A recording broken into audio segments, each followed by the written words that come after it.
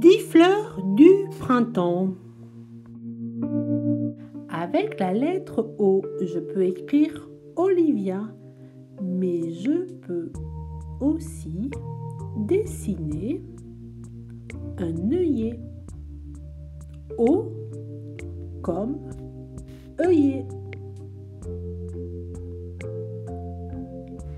Avec la lettre E, je peux écrire Eric, je peux écrire Erwan et je peux aussi dessiner une églantine. E est la première lettre du mot églantine. Avec la lettre G, je peux écrire Gabriel. Et je peux dessiner aussi des petites fleurs rouges, des géraniums. G comme géranium. Avec la lettre R, j'écris Roméo où je dessine une rose. R comme rose.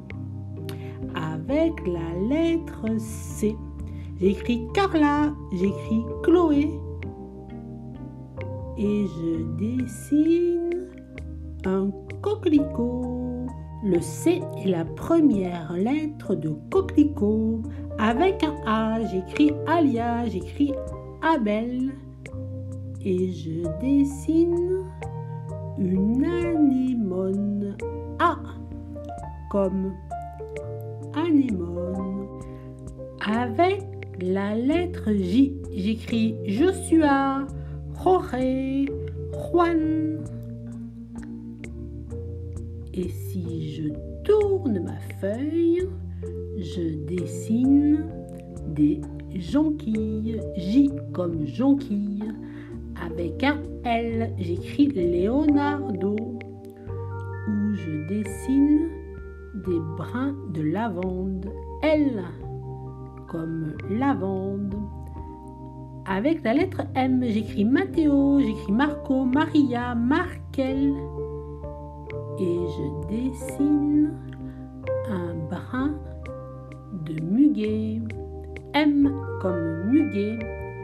Et enfin, avec un D, j'écris Daphné et je dessine des Daphné, des petites fleurs de toutes les couleurs.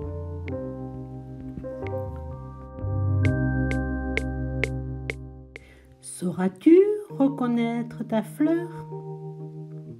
À bientôt